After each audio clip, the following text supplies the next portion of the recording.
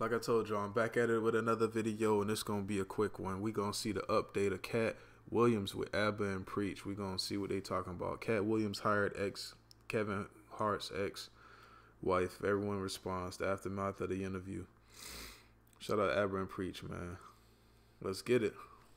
Very few people even really deny Nobody what said Katt yep, is true, yep. which is the most bizarre thing That's about all of crazy it. thing. I would have thought some of y'all be like, "No, no, I got receipts." It turns out Katt Williams has decided to bring Kevin Hart's ex-wife on tour with him. I didn't believe it when I saw it. I still. if you aren't aware, Katt Williams and uh, Kevin Hart are beefing. They have been for quite some time. Katt Williams feels like he's an industry plant. He already had his deals when he got here. Have we heard of a comedian that came to LA and in his first year in LA, he had his own sitcom on network television and had his own movie called Soul Plane that he was leading? No, we've never. I'm not even gonna lie to you. When he made that point, I, w- I always kind of felt weird because I'm like, I might have seen Kevin Hart in like Scary Movie, just like I might have seen like Larenz Tate brother in certain movies, like in Don't Drink Your Juice in the Hood, this and that.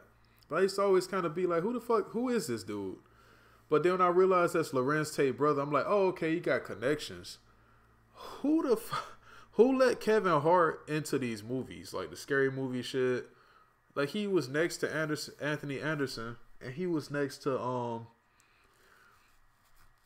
people early on in his career. Like I saw the little the little pilot of the TV show they had. That shit was trash.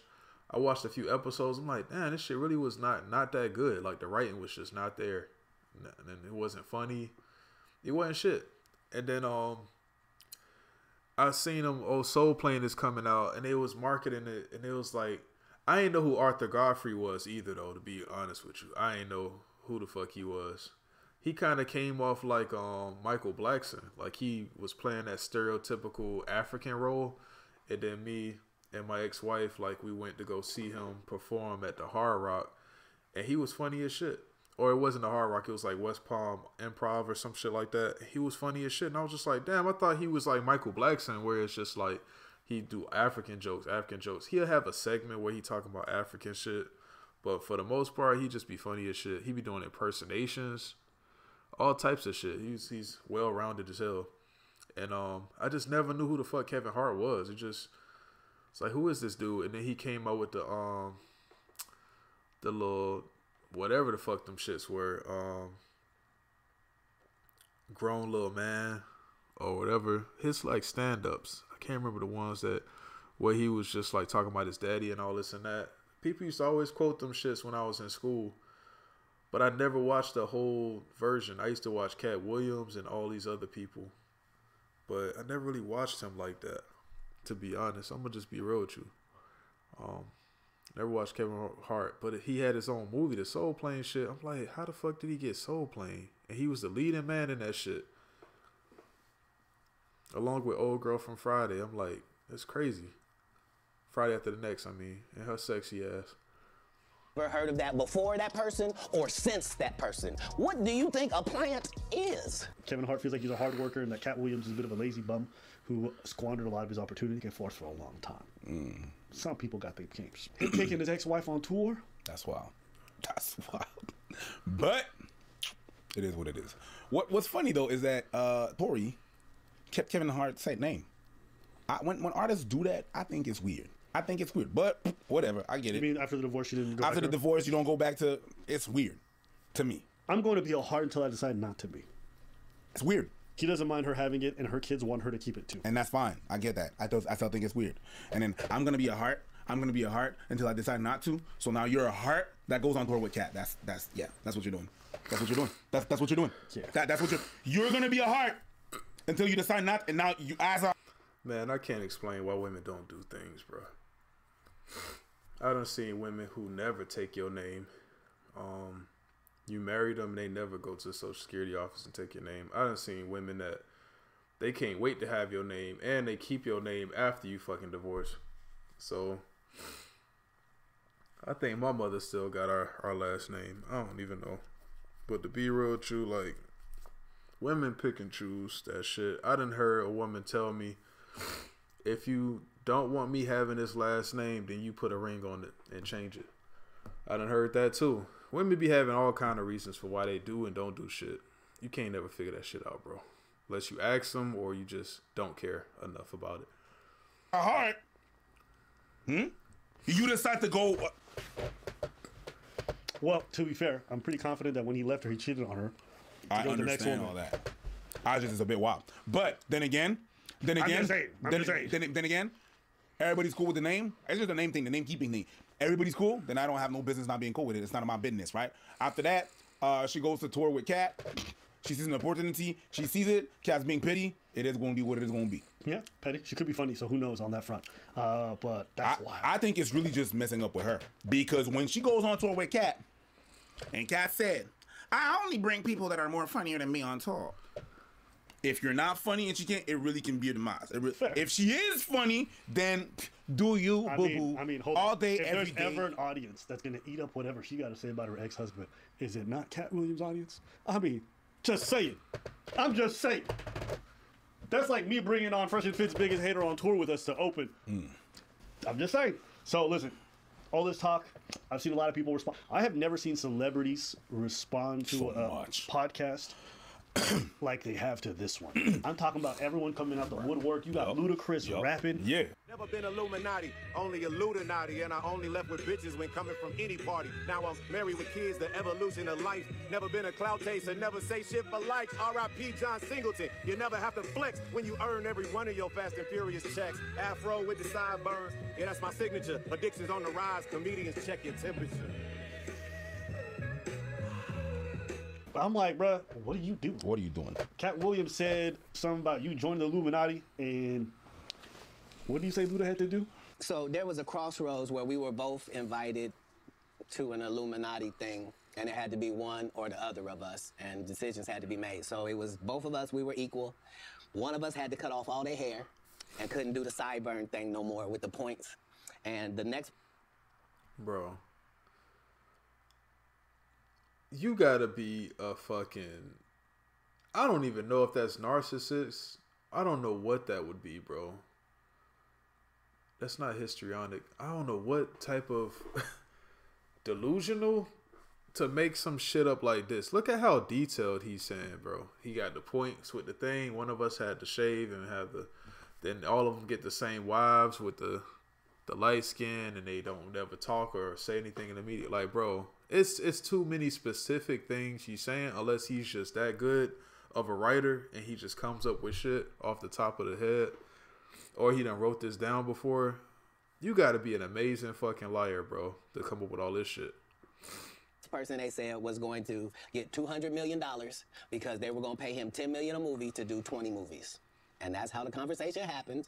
One of those persons turned out to be Ludacris, and the other person turned out to be Katt Williams. Now, one person ended up with a light-skinned, ugly-faced wife that has never done it. Remember I told you that if I say that, it applied to seven people? Yeah. It's part of what they give you. Okay? I didn't get it. Ah, it was some such shit. So, so something about booty and everything else. Yeah. Okay. And Luda came out with a fucking A rap. a rap. I was like, what is going on? These people are weird. They got Steve Harvey talking about, hey, I ain't got to address my haters. And all these clips are surfacing. But it's interesting because very few people even really deny Nobody what said, yup, saying is true. yup. Which is the most bizarre thing That's about all of crazy it. thing. I would have thought some of y'all be like, no, no, I got receipts. Nobody. The only thing that Even you guys are denying, the only thing that you guys are denying is he can't run that fast and didn't read that many books. The rest, you're not saying shit. That's weird. Hey, listen, him not being able to run uh, uh, a 40 yard dash in under four seconds or whatever the fuck it Under was. five. And and he did. He's 52, and I think he ran it in like five seconds, which Four, is 467. which is still incredibly impressive for his age. He could have ran it in six. People were like, ah, but he lied. See, he didn't run it in the exact. I was like, who cares? That's a 52 year old man running that fast. Like, I was actually shocked when he ran. Some of you I'm not gonna lie. some of I you- saw him running, and I'm like, damn, crack got a really not, not, not saying, but like, it just gave me that vibe. But seeing you know, you see old crackheads just moving with purpose. That's what it felt like. Some of you 26 year olds can can run that fast. Stop. Facts. Stop. Facts. But moving past that, Stop. it's just seeing the response to the interview. I don't think I've ever seen like it, anything like it. I think, in and of itself, it is very singular to me in my mind. And I think it's probably the second most viewed podcast ever. A hundred Though number one being Joe Rogan's podcast, uh, which I think has 56 during COVID at some point. He In one interview, he was able to skyrocket to that. Like, pff, Say what you want. I'm- that man is charismatic. He knows how to tell stories. I'm sorry. And he knows how to run interviews. I watched that thing from start to finish, and it was amazing. everything is the only thing you try to say against Katt is that he can't read that many books and he don't run that fast. Mm-hmm. That's it. Was it? Out of two hours and something things, something seconds and something minutes that he said that he was talking, the only two things that you So here, here, here comes the second part now.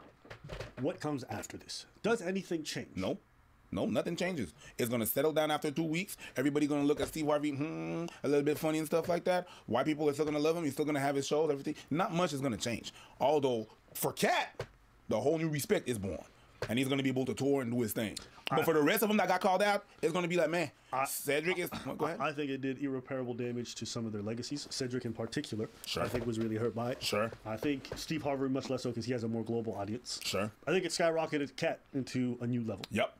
And I think overall, as far as the Hollywood stuff goes, or all this other talk, I don't think it really changed the legacy of most of the people involved in any any strong way. I think it's one of those things where people learn more information, they learn about the industry. So maybe for a lot of people who are unaware before, they get more info. But beyond that, I don't think it really changes much. That's my honest assessment. It hurt. It hurt. Ced and Rickey Smiley the most. The rest, Yep. even Kevin Hart. Kevin Hart, it's not gonna change. Uh, uh, uh, No. It's not gonna. It's gonna bug him. It's gonna hit him. Yeah. But other than that, money wise or globally, it's not gonna change much. Nope. Ludacris is gonna show up in the next Fast and Furious, right? Because he gave up his booty for it, and everybody else gonna keep on doing what they do. So that's my honest assessment. That voice said because he gave. His Um, let me hear what Ice Ice I said Ice hey, Spice. Hey, hey, hey. Wait, said because he gave his booty up for it. But um, yeah. So check this out, man. Katt Williams, he did his thing. He he set the record straight on a lot of things that needed to be talked about in the culture. All the like, I don't be knowing if Illuminati and shit is real. I've never been that rich. I've never been in those circles. If he's saying there's something to it, then it might be something to it, bro. What's the point in lying about some shit like that? But at the same time, of course, it's all secret type of shit that's around the world. Who knows what people be doing behind closed doors? But um, yeah, man. Um, if you believe K, you believe K. If you don't believe him, you don't. If you just thought it was entertaining and you watched it and you had a good time, it did what it was supposed to do. It got people talking. It got people, you know, questioning things. It got people responding. You see what people really think. You see how people really act when somebody really talking that shit. And it exposed a lot of things, man. That's wrong in this world. So like people don't have the ability to talk freely or speak up for themselves. So you need somebody to come out and do it. And somebody actually coming out and doing it that became viral. So we need more people that's able to stand up and talk out about things because that shit do go viral when you actually talking that real talk. But y'all let me know what y'all think about this and uh, leave a comment below, like, share, subscribe. I'm sick right now, but I hope y'all feeling good, y'all feeling better, and y'all having a good night. All right, peace.